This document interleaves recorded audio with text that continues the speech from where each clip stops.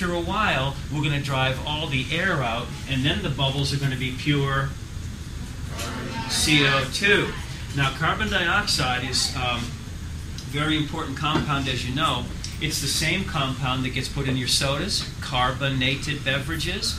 Well, when carbon dioxide gets put into water, it forms an acid called carbonic acid. So when you're drinking soda, you're actually drinking a weak acid called carbonic acid. But to test for carbon dioxide, I put the bromothymol blue in the water, and you're going to see it indicate that CO2 is actually present. How? How? You'll watch. Now already we're starting to get some moisture building up in here, so hydrogen gas is being generated.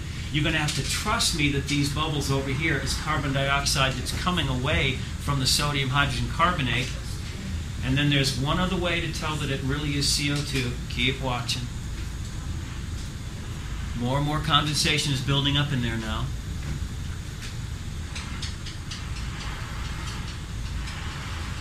Here it goes. Get ready. Watch, watch, watch, watch, watch. Trust me. Yeah, the Yeah. blue stuff. Any second now.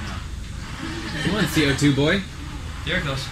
My favorite color. I did that just for you in honor of Jamie's birthday. Oh. But we're not done yet. The more CO2 that gets produced, it goes from green to yellow.